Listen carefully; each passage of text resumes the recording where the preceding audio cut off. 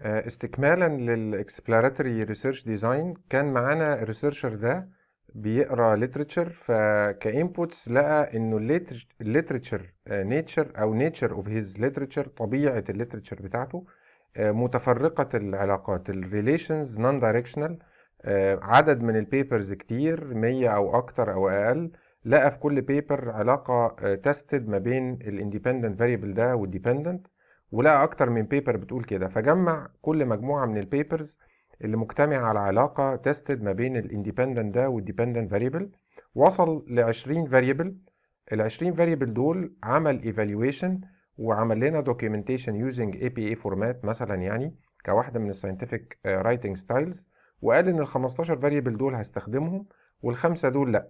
طبعا حكم ال researcher هنا أو قراره ممكن يكون فيه صواب أو خطأ آه، قريب أو بعيد ده اللي محتاج ال senior researcher أو ال supervisor يراجعوا معاه أو ال reviewers لو هو بيعمل paper for publication انتقل لمرحلة ال research design اللي اسمها exploratory هيعمل فيها إيه بقى؟ هيستخدم ال exploratory research design طب هيستخدمه عشان إيه؟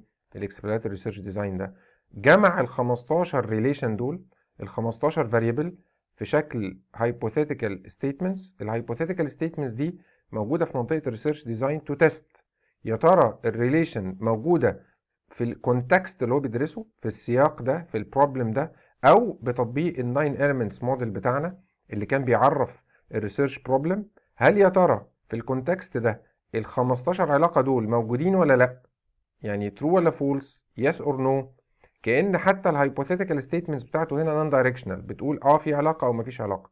ساعتها ال design ده بنسميه exploratory exploratory research design فبقى ال exploratory research design هيبقى هنا دوره نجمع له data أهو حرف ال D ما تنسوش. يعني بعد ال design هنجمع data وال data دي هنعمل لها analysis وال analysis ده هنعمل له conclusion ال conclusion اللي هيطلع هيقول لنا يا ترى طلع في إيه علاقة ما بين مين من ال variables ومين وأنهي عدد من ال variables اللي طلع ملوش علاقة مع ال dependent variable بتاعنا؟ فبالتالي نراجع مع بعض بالراحة. هل يا ترى ال exploratory research design ده نعرف نتيجته إزاي بجمع ال data؟ طب لما أجمع data هعرف إزاي إن في علاقة من عدمه بال statistical analysis لو أنت شغال بشكل quantitative طب ال quantitative ده هنعمل فيه إيه؟ مثلا يعني هنعمل حاجة اسمها correlation analysis طب هو ال correlation analysis ده هيقول لنا في علاقة ولا مفيش علاقة؟ أيوه. العدد ده من ال variables مثلا هيطلع إنه مرتبط positive أو negative أو غيره. اللي بالنقطة بس اللي بننبه لها إنه خلي بالك وأنت بتعمل statistical analysis علشان تشوف يا ترى في relation ولا لأ غالبا هيطلع لك إن في relation وهتعرف إن في relation بإن أنت هتشوف amount و direction. يعني أنت هتقدر فعليا تشوف amount و direction ما بين ال variables دول وبعضها. ولكن ال amount وال direction دي مش هي المؤشر الحقيقي لل amount وال direction أمال بت indicate إيه؟ بتقول لنا إيه conclusion بتقول لنا إن there is a relation بس. يعني إحنا ال outcome ال ultimate of exploratory research design إن إحنا نعرف يا ترى في علاقة ولا مفيش علاقة ما بين ال variables بتاعتنا. طيب إيه اللي أضافه لنا ال exploratory research design دلوقتي؟ أضاف لنا معرفة انه ال 15 variable دول tested وإن الخمسه دول لأ. ال 15 variable ال tested دول sorry ال 15 variable ال tested دول هم اللي اتجمع لهم data و analysis و conclusion وبالتالي هم دول ال variables أعدل لكم بس الصورة عشان تبقى مريحة أكتر بالنسبة لكم.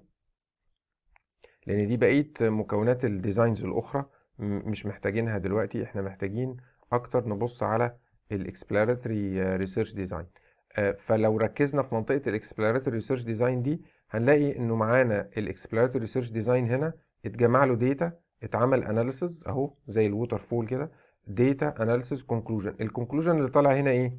إنه السبعه variables دول بيأثروا. طب عرفت ده إزاي؟ بالتحليل الإحصائي quantitative analysis طب ال quantitative analysis هنا قال إيه؟ قال إن في relation ما بين ال variables دول ومفيش relation ما بين ده. طب عرفت إزاي؟ إزاي بال correlation analysis أو بال regression مثلا.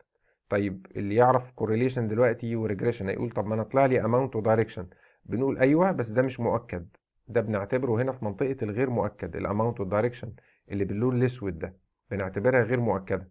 طب ليه غير مؤكدة؟ لأن أصل ال design كان معتمد على literature لسه في مرحلة فحص ل hypothetical statements true ولا false يا ترى في علاقة ولا مفيش علاقة؟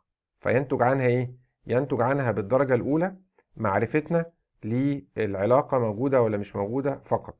يعني ما قدرناش نعرف أي حاجة تانية غير كده إن بس العلاقة موجودة أو مش موجودة. وبالتالي قيمة ال exploratory research design إن إحنا نعرف إيه اللي مرتبط وإيه اللي مش مرتبط من ال variables طب كده الشكل ده ممكن يبقى موديل آه ممكن يبقى model preliminary model يعني موديل مبدئي موديل مؤقت. بيعمل إيه الموديل المبدئي المؤقت؟ آه ميز لنا أو استخدم بشكل scientific inclusion و exclusion criteria فبقى معانا السبعة دول related to our context our environment. والتانيين اللي هم مثلا من بعد سبعة من 8 ل 15 قدرنا نفحص بشكل علمي ان ملهمش علاقة بال research بتاعنا.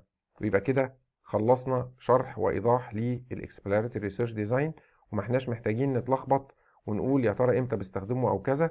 بالدرجة الأولى هو معتمد على وجود ال literature من عدمه شكرا جزيلا. الحلقة اللي جاية هتبقى بنتكلم على ال descriptive research design شكرا لكم